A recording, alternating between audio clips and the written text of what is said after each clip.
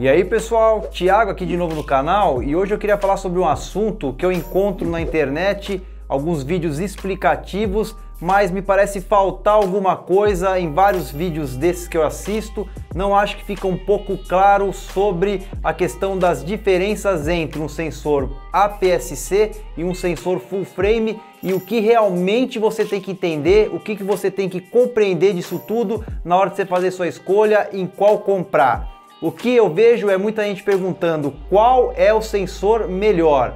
E isso, sinceramente, a resposta ela não existe. Eu quero provar para você isso e explicar algumas coisas, esclarecer algumas coisas para você, para ficar muito mais fácil daqui para frente sobre quais câmeras escolher ou como trabalhar com cada uma delas. Se você tem interesse nesse assunto, fica ligado.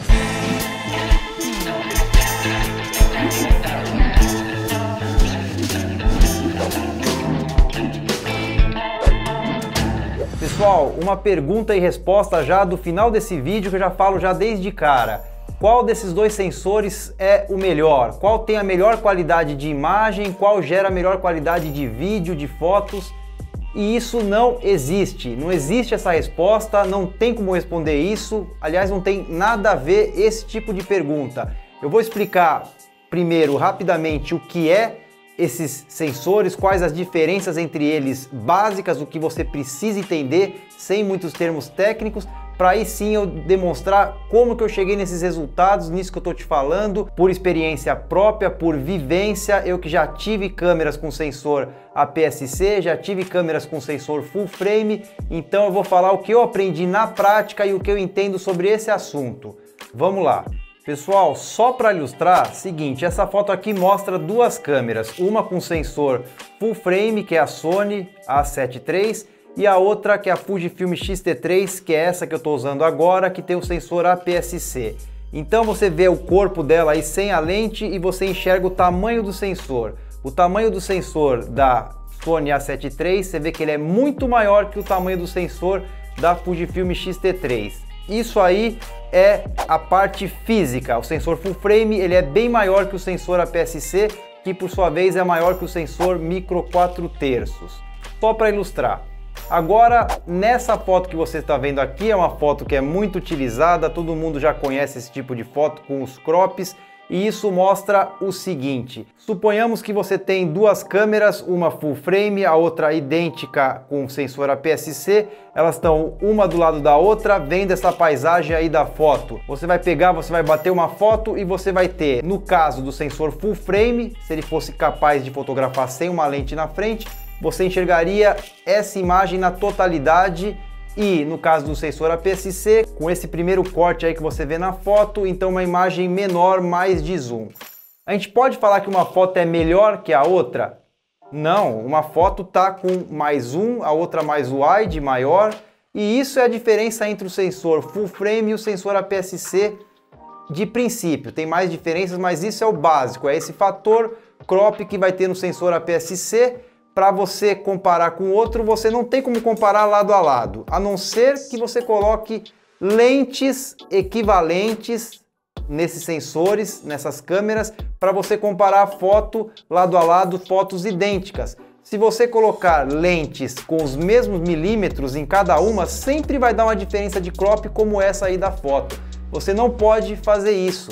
E tá aí o erro, eu vejo muitos reviews comparando sempre as mesmas coisas, comparando câmeras full frame com a PSC com lentes 24mm e na outra também 24mm, lente 50mm e na outra lente 50mm. Isso aí tá errado.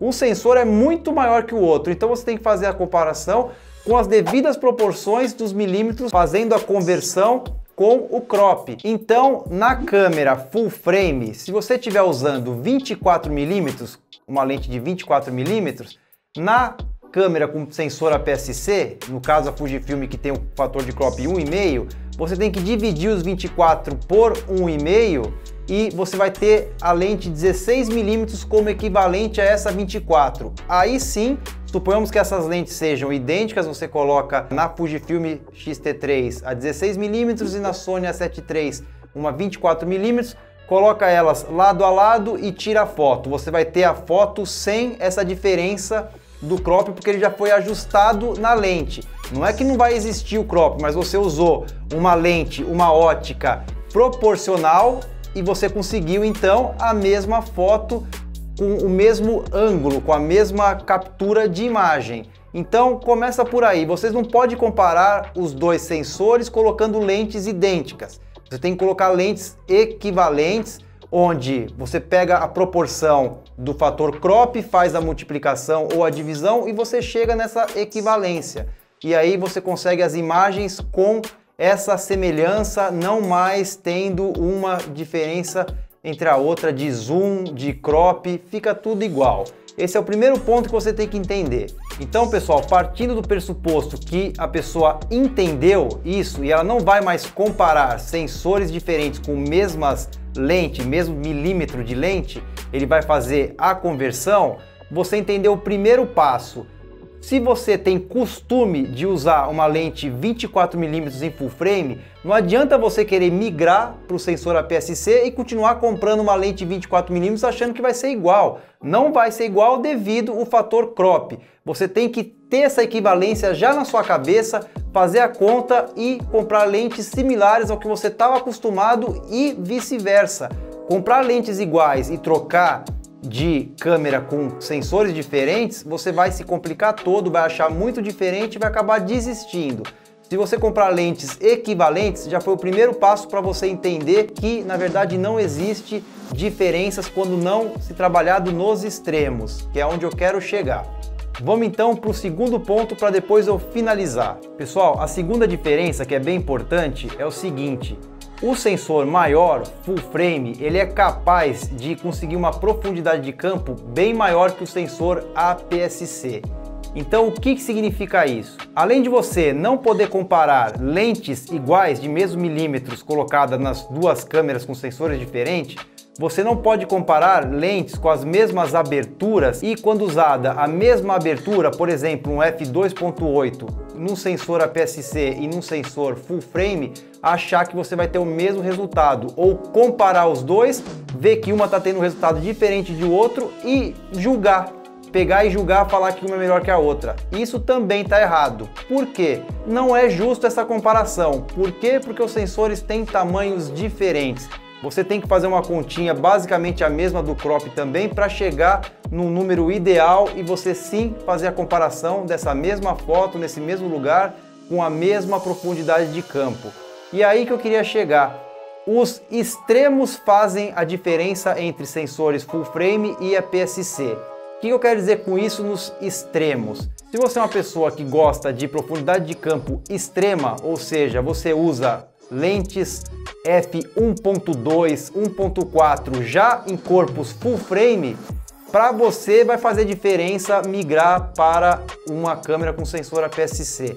Por quê? Porque o sensor APS-C dificilmente vai conseguir chegar na profundidade de campo quando comparadas com um f1.2, 1.4 em full frame. É isso que eu quero dizer das diferenças em extremos.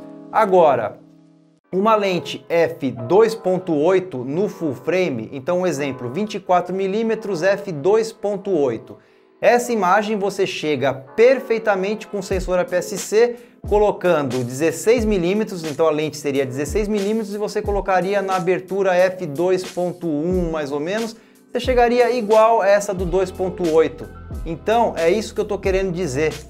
Comparações elas não podem ser injustas, não dá para comparar câmeras de sensores diferentes, se você usar as mesmas lentes, nos mesmos Fs, nos mesmos ISO, não pode. Você tem que comparar de acordo com a realidade de cada sensor. Aí sim você vai entender que a qualidade de imagem elas são iguais, não tem diferença, a não ser que você trabalhe nos extremos onde uma não consegue chegar no que a outra consegue. Partindo então do pressuposto que o sensor APS-C ele recebe menos luz, tem mais dificuldade em receber luz do que o sensor full frame que é maior, então significa que você vai ter que usar geralmente ISOs maiores do sensor APS-C para atingir a mesma claridade com ISOs você atinge mais baixos no full frame.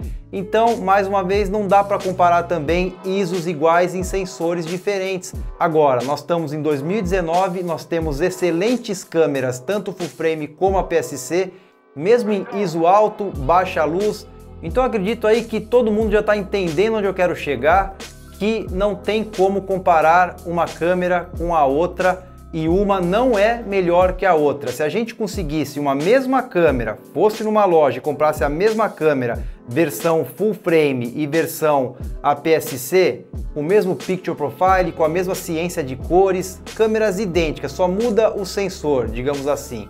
Se você fizer essa comparação com os devidos crops, com os cálculos corretos, você vai ver do outro lado uma imagem exatamente igual nos dois sensores.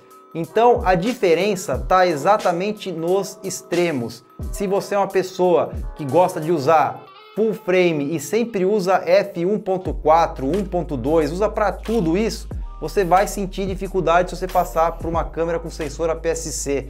Se você usa ISOs extremamente elevadas, sabe? É, hoje em dia as câmeras elas aguentam ISOs muito elevadas, com sensor APS-C também.